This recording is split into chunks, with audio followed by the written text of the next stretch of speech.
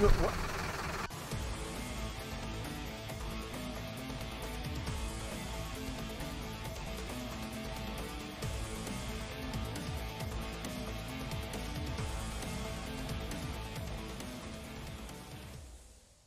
right guys, it's time to train and today we're going to look at the straight truck and we're going to talk about the hazards that surround driving this small vehicle.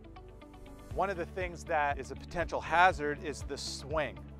Now the swing of a straight truck starts off from the middle of the rear axle and it comes all the way to the end of the box.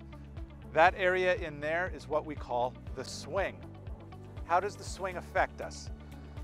Well, when we're making a hard left turn or a hard right turn, the swing of the truck is going to move in the opposite direction.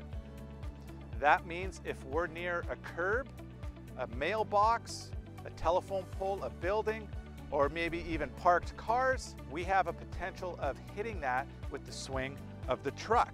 So let's just set up a demonstration and show you exactly what we're talking about when we mean swing.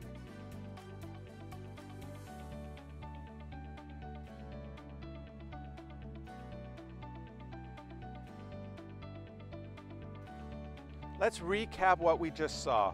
We know that the swing takes effect when we're leaving the curb, leaving an alleyway, maybe we have parked cars beside us.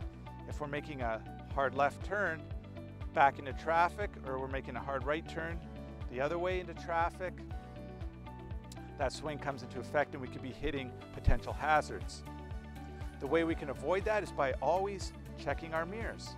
Slowly move away from the curb or the parked car. Always checking that swing, making sure that we're clearing the hazards first before we resume normal driving.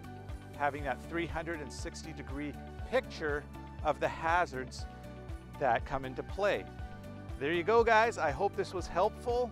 If you have any questions, please let me know. I'll be happy to answer those for you. Work safe, drive safe, and be safe, and we'll see you next time.